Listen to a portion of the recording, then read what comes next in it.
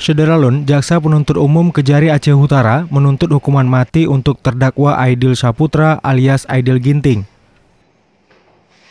Aidil merupakan terdakwa pembunuhan Irawati beserta dua anaknya Zikra Muniza dan M. Yazid yang juga merupakan istri terdakwa.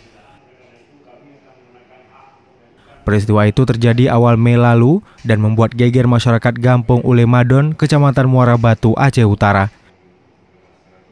Sidang ini dipimpin T. Latiful didampingi dua hakim anggota Bob Rosman dan Maimun Syah.